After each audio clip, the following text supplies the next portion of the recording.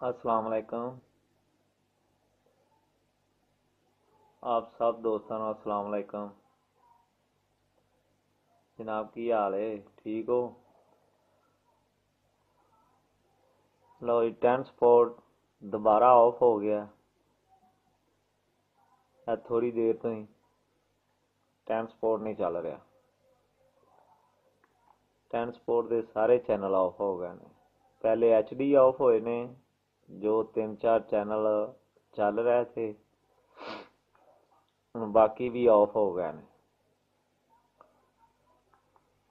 ਕੋਈ ਚੈਨਲ ਨਹੀਂ ਚੱਲ ਰਿਹਾ।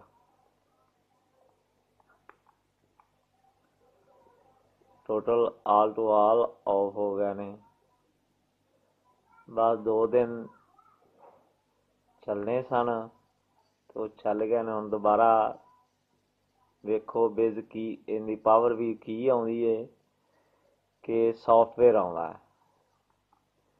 ਜਦੋਂ ਹੁਣ ਸੌਫਟਵੇਅਰ ਆਇਆ ਜਾਂ ਪਾਵਰ ਵੀ ਕੀ ਆਈ ਤੇ ਫਿਰ ਦੁਬਾਰਾ ਇਹ ਚੱਲਣੇ ਨੇ।